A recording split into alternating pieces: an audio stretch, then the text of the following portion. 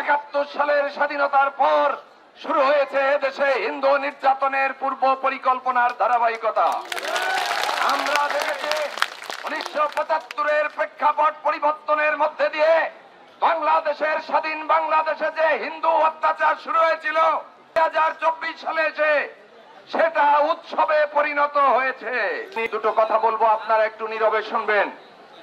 এদেশের প্রেক্ষাপট পরিবর্তন হয়েছে পূর্ববঙ্গে উনিশশো সাতচল্লিশ সালে ধর্মের ভিত্তিতে একটি দেশ বিভাজন করে সেদিনও এই পূর্ববঙ্গের কোটি কোটি লক্ষ লক্ষ মানুষের উপর নির্মম অত্যাচার হয়েছিল। আপনারা জানেন, কালের বিবর্তনে এ দেশে একটি মুক্তিযুদ্ধের ডাক এসেছিল। সেদিন সেই মুক্তিযুদ্ধের ডাকে বাংলার বঙ্গোপদ্বীপের তিন কোটি হিন্দু সমাজ, তারা জীবন দিয়েছে, তারা মৃত্যুকে বরণ করে নিয়েছে একাত্তর সালের স্বাধীনতার পর শুরু হয়েছে দেশে হিন্দু নির্যাতনের পূর্ব পরিকল্পনার ধারাবাহিকতা।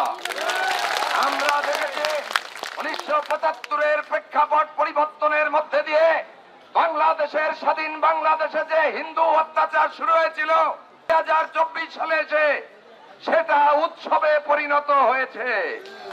সমগ্র মতো ভাইদের এজন্যই আজকে ঠাকুর বাড়ি আপনাদের আহ্বান করা হয়েছে।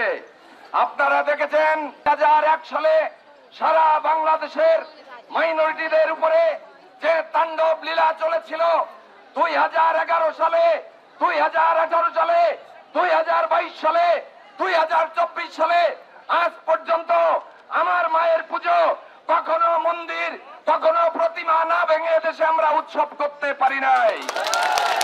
আজকে কথিত ছাত্রদের বৈষম্য বিরোধী আন্দোলনের যারা আপনারা দেশটার পরিবর্তন করেছেন, আপনারা তো ক্ষমতায় গিয়েই বৈষম্য শুরু করেছেন। কোথায় আমার হিন্দুদের কোন ধরনের সহযোগিতা না করে?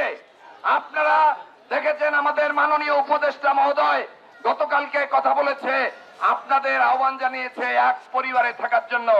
আপনাকে আমরা স্বাগত জানাতে চাই কিন্তু জানাব কীভাবে বলেন আপনি কিন্তু এখনও বলেন নাই একটি আলটিমেট দেন নাই যে আগামী এতদিনের মধ্যে বাংলাদেশের সংখ্যালঘুর যত ঘর, বাড়ি ভাঙা হয়েছে, তাদের বিচার করা হবে, এই কথাটা আপনি বলেন নাই। আপনাদের সুরক্ষা দেওয়া হবে। এটা উনিশশো একাত্তর সালের পর থেকে সমস্ত রাষ্ট্রপ্রধানরা আমাদের দিয়ে এসেছে, কিন্তু কেউ কথা রাখে নাই। আপনাকে আমরা স্বাগত জানাব, কি করে স্বাগত জানাব তখনই জানাব যখন আজকের মাইনরিটি সম্প্রদায় আট দফা দাবি দিয়েছে সেইখানে আমরা যুক্ত করতে চাই।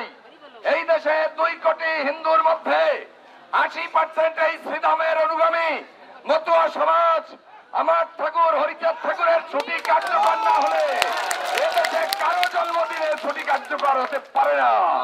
অতএব আমি উপদেষ্টা মহোদয়কে বলতে চাই, আপনি দেখেছেন, আজকে আপনারা কালকে একটা আবেদনের জারি করেছেন। একটা খোঁচায় আপনারা একটা দিন বদল করে দিতে পারেন। তাহলে আর একটা খোঁচা দিন। এদেশে হিন্দু, বৌদ্ধ, খ্রিস্টান, মুসলিম সম্প্রদায় ধর্ম নিরপেক্ষতার জন্য আমরা স্বাধীন করেছিলাম। আর একটা খোঁচা আপনি দিন। দেখে যায় আবার এই দেশটা ধর্ম নিরপেক্ষ দেশ হবে। আমরা আপনাকে স্বাগত জানাব। আমি আর বক্তব্য দিতে চাই না।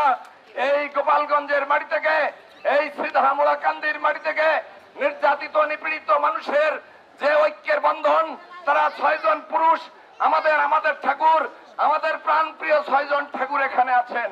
এই ছয়জন ঠাকুর আপনাদের যখন যেভাবে ডাক দেবে, তল মত নির্বিশেষে আপনারা ওড়াকান্দি ছুটে আসবেন। এই আমি আমার বক্তব্য শেষ করছি। ধন্যবাদ। জয় হরিবল জয় হরিবল